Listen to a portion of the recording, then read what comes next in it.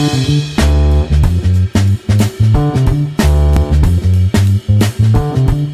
doing the bee dance. Are you filming? Yep. Yeah, I'm doing the bee dance. Um, so we're gonna transform these lovely metal file cabinets. They're really boring, highly functional. Everybody needs them, but they're ugly. And uh, Colleen and I haven't decided what the end design's gonna be, but we have decided that they're both gonna be black. We're gonna start with black. So I've just got um, spray paint that covers metal.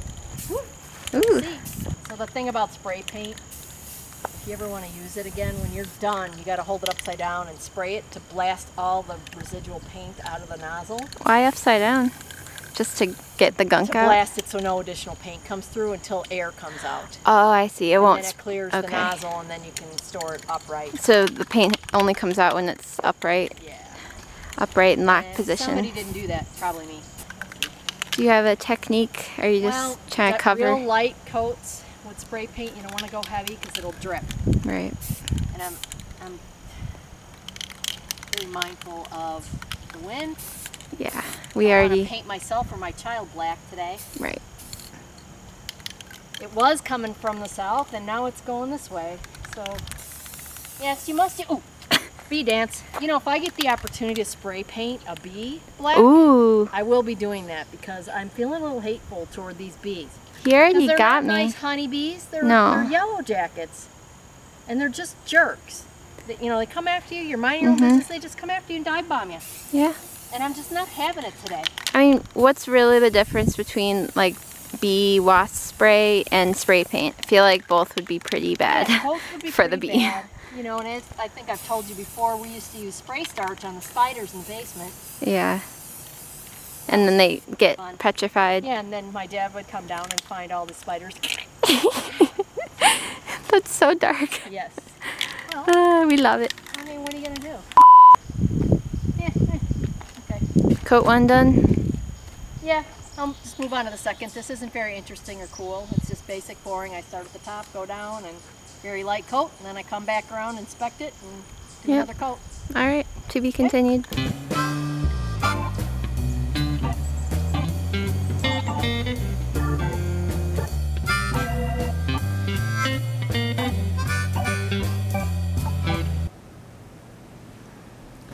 Worry about the words. Well, why don't we start because we haven't done this yet? Why don't we just do the the uh, this one without the border, and then because that one's a little more involved, it has multiple steps, so we can just start with this one. Um, Okay. see how it turns out, and that's why we have multiple copies of the pictures too. I blow. Hmm. What if they melt? What, kind of Mod Podge is this? We can actually test the decoupaging of the printed images, so. Should we do that first on No, like a just gonna jump in. huh? So we spray painted them and now we're on the collaging step. So I searched Google and found a bunch of images. So do you want to explain what the theme is for each one? So Colleen is the mastermind, I'm just the muscle in this regard. She's got a theme that is office settings from pop culture. Because in a liberal arts education, you need to have pop culture office sort of things. I'm not gonna get into detail, if you don't recognize these images, then you need to go and, you know, Get out. bolster up your own liberal arts education. Mm-hmm. And then for this one, we have a law enforcement slash police theme. Similar idea from pop culture, images, words, quotes. I think they're fantastic. And the the genesis of that theme was from the fact that that has a lock on the bottom drawer. Right. because the we wanted to play up the security theme and we also like TV cop shows. So right now they're just they're placed down there for the the outline of it, and then we're gonna go in and Mod Podge. So I'm a little nervous about this one because my project manager in this case is pretty precise. These are her favorite shows. And um, I've taken a picture of each of the the design layout here so I don't forget. Mhm. But I'm worried, like what if She absolutely wanted this to overlap just No. this precise way, and what if I blow it? So, No, that's, you know, what? I am, this is an exercise in me letting go and remembering that this is a collage and that's the point of a collage is overlapping. So it doesn't matter. Oh, oh God. Did you uh, get rid of the IRS files over in the filing cabinet? Yeah, we didn't have any. The audit ones? Yeah, those The audit?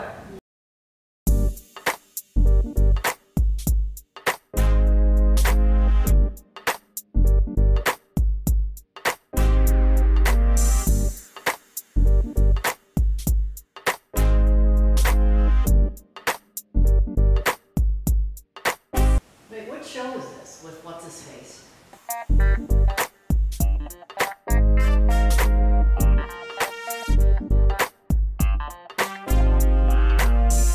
I want to hear the story of the how you got these file cabinets way back when in the 80s, I assume. Were they not from the 80s? Did I tell you this story already? No, I never Okay, heard good, because there is, I don't know a story. Oh, So I'm like, wait, I assumed there was a story. am I losing it? I don't remember. There's I- no story? Okay, I'll make up a story. No. Uh, Did you just buy them because you needed them? once upon a time, weren't we after having the, I having the file cabinets in the family? No, there's no story. You just needed file cabinets, so you went to Walmart and bought file cabinets? Probably. Yeah. I don't recall. I, I think it was uneventful. It must have been uneventful. Not everything has a story behind it. I know. These I was hoping there were. boring metal file cabinets. Not anymore. Not anymore. Yeah. Now they're, they and I are covered with the glue. Alright, these are finished products. Woo! This is our office themed file cabinet. Here we have various sundry um, scenes from popular TV shows, office scenes. We have, this is the British version of The Office. We have um, Frasier in his office. We have Mary Tyler Moore. We have Jim from The Office. We have Elaine Benes smoking a cigar My- from Seinfeld. It's who I'm channeling at work. Yes. So because it's a file cabinet, we wanted to have fun pop culture scenes from an office. Mhm. And if you open up a drawer, look what you find inside. Ooh. Oh my. School supplies. School supplies inside. Mm, It's functional too. Fully functioning metal. Lovely. Lovely. And not so ugly. They were really ugly before. So moving on to our second beautiful piece here. This one has an added security feature. Mm. We can lock the files. And then, oh dear, oh no, oh, it didn't lock. Wait, I turned it the wrong way. Does work. It does work, I promise. I just don't how to do it. No, There, there's the bottom drawer locks. This one you can lock if you have top secret files, hence the police theme. Yes. Law enforcement, we have Barney Fife, we have Columbo, we have um, Verbiage from Brooklyn Nine-Nine. Cool, cool, cool, cool, cool, no, no, no, no, no, no. Can't say it. CSI Miami, of course we have Horatio. And Batman, Adam West. Well, Adam West Batman because he's not technically a cop, but he's he's supporting the local community. He's guarding the top secret files. So, And we love this because you, you really can lock this stuff up. I mean, people don't use file cabinets so much anymore, but let's face it, folks, we still have a lot of paper that we have to lock up. So, Mhm. And even why if- not have beautiful file cabinets? It was a lot of fun. Colleen did a nice job getting Uh. pictures and organizing them. Yes, I think it looks good. Declare it done. I declare it done.